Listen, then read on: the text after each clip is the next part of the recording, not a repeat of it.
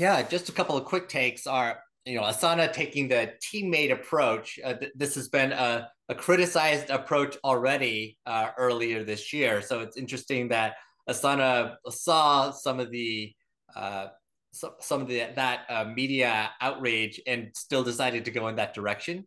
Uh, basically saying, "Oh, we are going to frame these Asana agents as teammates," and I'm honestly not sure that's the right approach because I I don't think we think of AI as an actual team, teammate at the uh, at the enterprise or business level.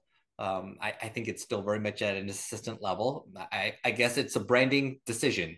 Um, but that said, I yeah, I mean, you know, yeah. in, in their defense, they're they're trying to position this as, you know, I think they're trying to make it feel more autonomous, like a teammate I would hand something off to, it does it and hands it back.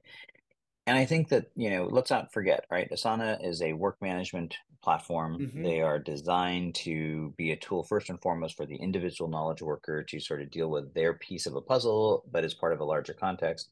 And so it sort of makes sense. I mean, I get what they're trying to get to. I think the hard part is is that they're large. I I, I fear they're going to get lost in the shuffle with all of this. There's so much going on that I think that message is going to get lost, at least with anyone outside of their core customer base. So we'll see. And maybe that's all that matters. It's going to be relevant for their customer base.